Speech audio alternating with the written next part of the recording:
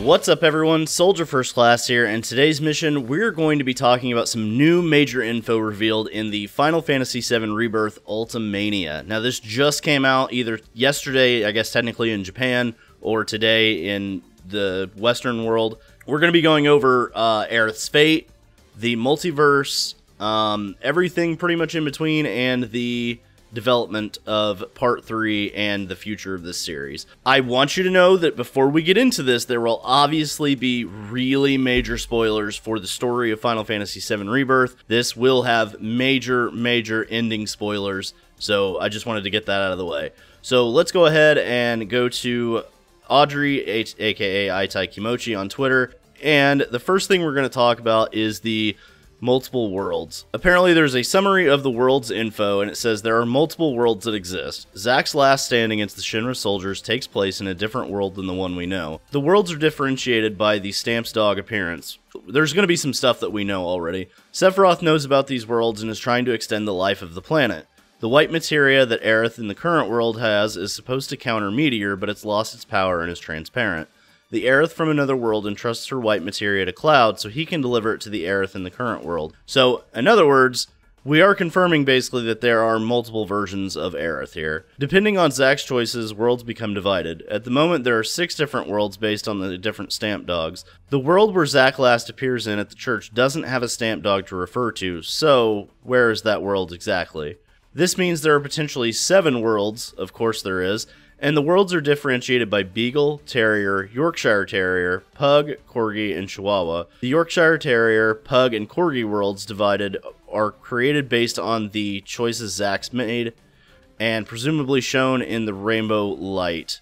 Um, I want to go into this further because me and Baby Seal actually had a conversation about this on SEAL Team 7, and we were talking about it whether or not Zack's choices had anything to do with it, or if it was really something else or if the rainbow actually represented the changes in worlds, but it does apparently clarify. Seal asked her, if the rainbow effect represents new world creation, I counted 273 rainbows in the game, not including limit breaks. So is there 273 worlds? Does it specifically point to the rainbow? And she says it just specifies Zack's choices are the ones that create new world paths. Apparently, we were semi right slash semi wrong about how this works. Um, apparently, Zack's choices actually do determine how this changes. I don't know why Zack, of all people, has like the deciding factor on what actually happens, but it's a little weird. Um, doesn't really feel that well done, I guess. I don't know.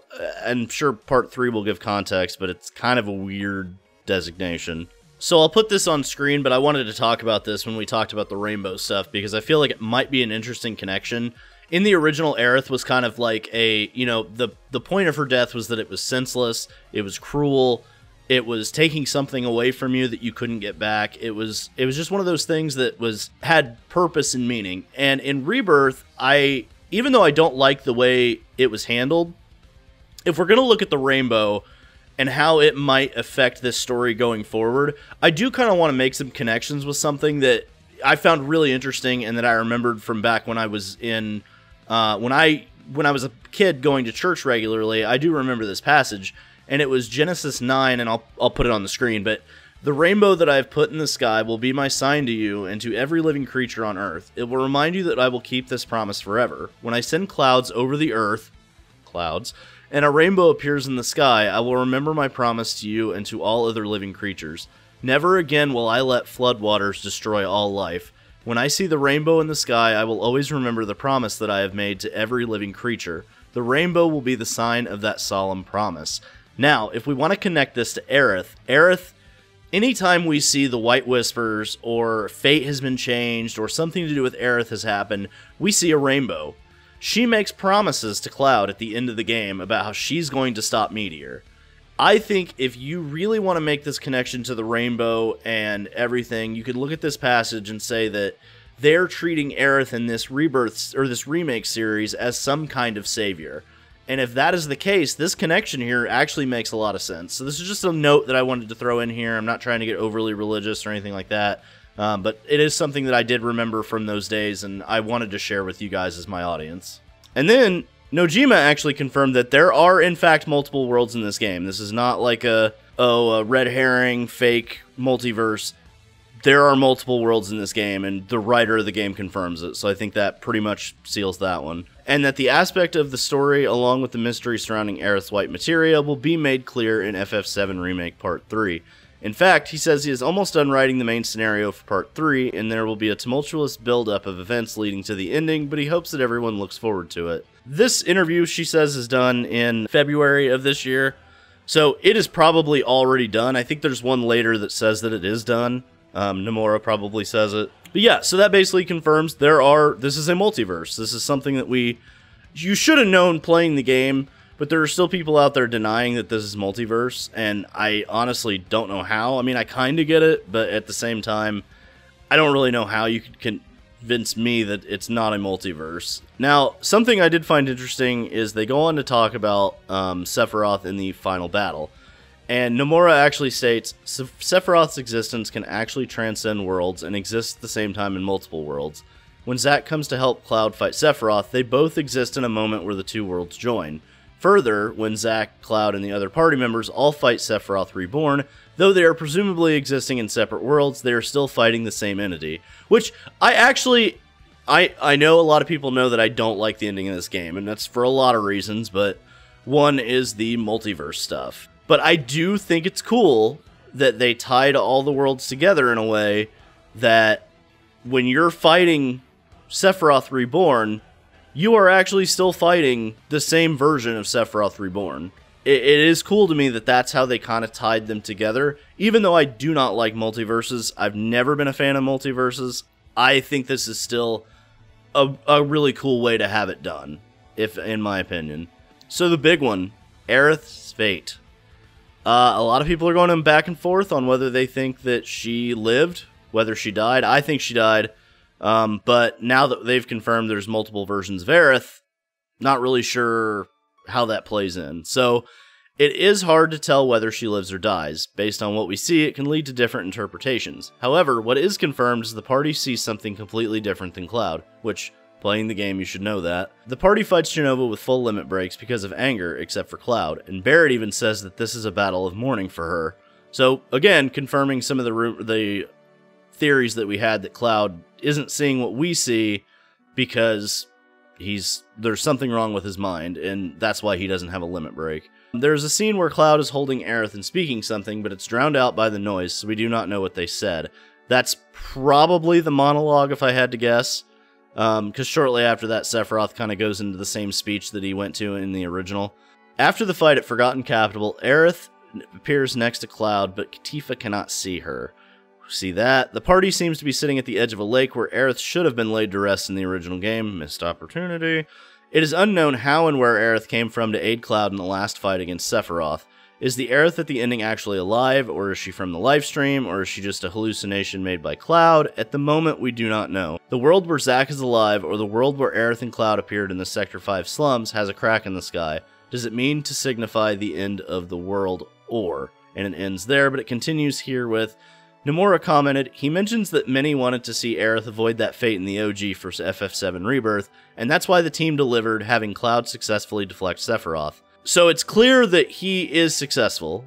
In the game, in the Ultimania, they're, they're flat out saying he was successful in blocking the blade. And we know that different choices have made different worlds appear. I don't think it's that much of a stretch for people that are that are theorizing that when Cloud deflected the blade, he created an alternate world where she lived. Now, whether or not those worlds are instantly bleeding together, and maybe Sephiroth is controlling that and made those two worlds combined, and now no matter what happens, she still dies. I don't know. I mean, that's something you could explore, uh, but it it does confirm he was successful. So it may not have been just in his mind, but we don't really know the exact parameters of what's going on. Uh, there is a question that then asks why every time Cloud gets a headache with noise, he sees random flashbacks. Nomura says there's a lot of elements that go into this, but for now, all he can say is it represents Cloud's state of mind rejecting those scenes from the flashback. So it's kind of like what I said during my playthrough. I said that when Cloud gets a headache, that is him rejecting, or maybe it's some sort of PTSD or trauma kicking up where it doesn't allow him to process what's going on. So therefore, things that he should know or that have come into his mind at a time where he's not ready for them have caused these headaches, and I think that's pretty obvious from playing the game. Nomura said, "Oh, also to note the follow-up Q&A, this is Nomura saying that Cloud and Zack's fight shows that two worlds are existing at the same time, and Sephiroth's existence can transcend multiple worlds, so it's all relative and up to interpretation. So again, we're confirming multiple worlds. Zack exists in another world, but those two worlds combined to, or are rather existing at the same time so they could fight Sephiroth together, which, in my opinion, was the most cringe moment of the entire game, but that's just me. Then we have some development information. Kitase has hopes that the world of FF7 may continue on even after finishing the FF7 Remake trilogy, but they need to wrap up Part 3 first and foremost. I think anybody that's a fan of Square Enix that knows this company knows that Final Fantasy VII Rebirth slash the third game is not the ending of this of this world. Whether that's a good thing or not, that's up to the fans to, to decide. But I kind of wish, as much as I have loved Rebirth, and as much as I'm sure that I will love Part Three, because I do love the game. I want everybody to know that that I do love the game. It's the ending I don't like, and that doesn't mean that you hate the entire game because you don't like the ending. There's plenty of games I love, like Mass Effect 3, had a dogshit ending, but I still love Mass Effect 3. I don't know whether or not FF7 should keep going. What other stories can they really tell after this? I mean, they could redo the books, they could redo Advent Children, all that, but it just kind of feels like maybe this IP needs to be laid to rest after all this. Uh, I don't know. It just personal opinion. Um, I think once you dilute something so much, it kind of starts to lose its impact. So that's kind of where I'm thinking with this. Um, he thinks Part 3 will perhaps be his last involvement with a game in the FF7 series due to his age. In lieu of that, he wants to bring this trilogy to a close with hopes that Cloud and all the characters will be happy at the end. Don't really like that. He wants to finish the trilogy on a positive note without leaving behind any unfinished business, but that's just his own personal opinion on the matter. I do not like the idea of giving this story a happy ending. That's not really what Final Fantasy VII was about to me. I mean, I know that's that's subjective. Obviously, people are gonna want Aerith to live. They're gonna want Zack to live. They're gonna want all this happy bullshit that I don't really agree with, and that's fine. Totally subjective. Up to you guys. Just not for me. FF7 Remake Part 3 main story has already been completed. There's the confirmation. And Nomura thinks they will perhaps start voice recording in the near future. He remarks that Kitase proposed an idea to him about something very important to include, even though it wasn't in the original game, and Nomura is pondering how to deliver. He thinks it will surely make people happy if they can do it well. That's subjective. Kitase hopes to deliver an amazing product for Part 3 without having to sacrifice quality over time.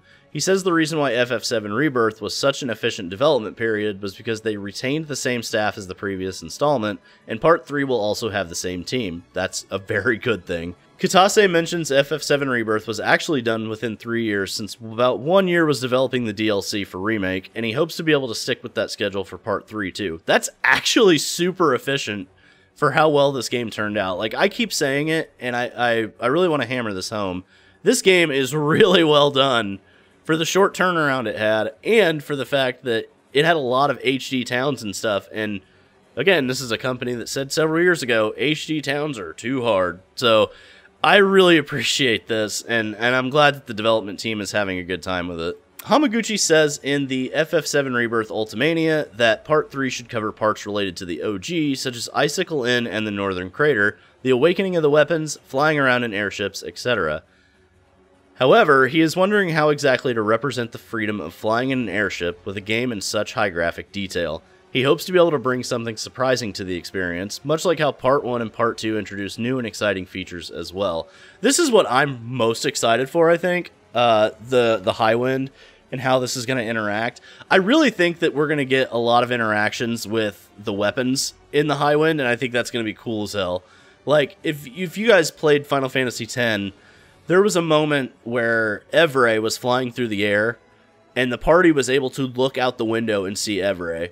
And then when they go out on the the the deck of the of the I can't think of the airship right now, the airship in ten, you know, you see Evrae flying around. And I think that'd be really, really cool to have on the Highwind where you could look out the window and see the weapons. I think that'd be so dope. That is about it, guys. Other than a few like character profiles and stuff like that, um, I think they did a really good job of revealing some information in this without giving like too much away. It's it's good that they they they have confirmed a few things like multiverses, um, the fact that like how they how they kind of are created because now we can go back and look at our discussions and say, okay, well, if you didn't think there was a multiverse, now there definitely is. If you didn't think that Cloud was successful in blocking the blade and maybe created another world, he did.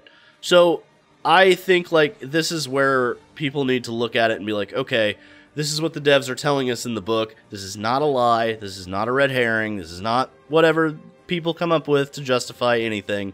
We are dealing with multiverses and potential saving of characters that weren't saved in the original, which I have my feelings about, but that's not the point. The point is we've gotten the information here. It's out. It's black and white.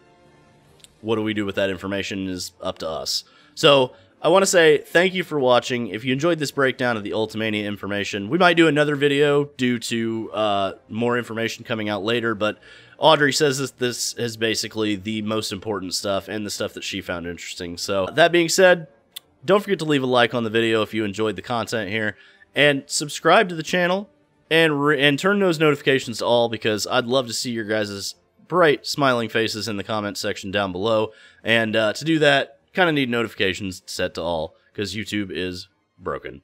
Uh, that being said, guys, thank you for watching, and uh, I'm Soldier First Class, and I'll see you in the next one. Later, guys.